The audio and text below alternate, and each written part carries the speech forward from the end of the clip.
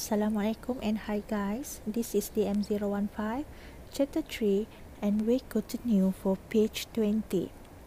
As I promised before, I will show you the example to solve absolute value equation. Look at question number 12.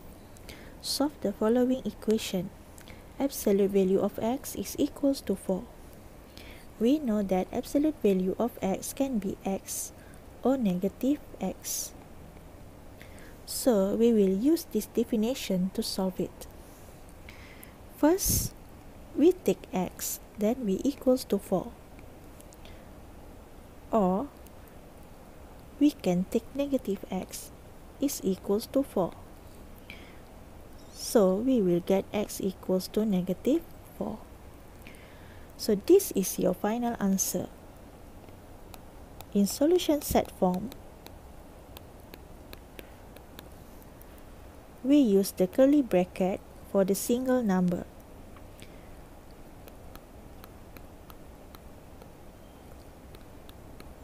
There you go.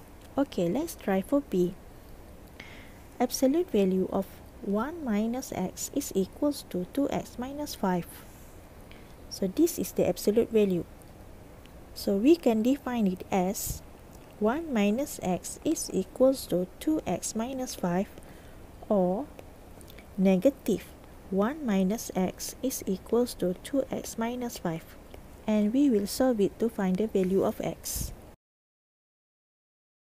But you must remember that when there is a x at the both sides, you need to recheck.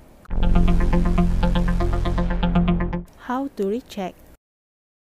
We will substitute the value of x into the original question absolute value negative 1 is equals to 1. But 1 is not equals to negative 1. So x equals to negative 2 is unacceptable. Let's check for x equals to 4. Absolute value of negative 3 is equals to 3. You got 3 equals to 3. So x equals to 4 is acceptable. Means that your solution answer is only 4. Okay, let's see for question C. Absolute value of 2x plus 6 is equals to x minus 1. There is an absolute value at the both side.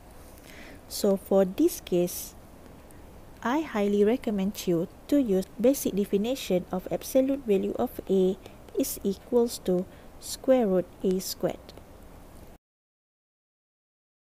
According to the definition,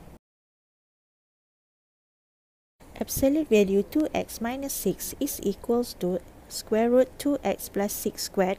Meanwhile, absolute value x minus 1 is equals to absolute value x minus 1 squared. Then we will use squaring both sides to get rid of the square root.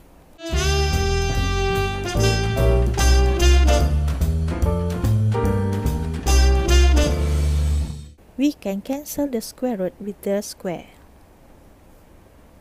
So we only have 2x plus 6 square is equals to x minus 1 square. Then we will expand it.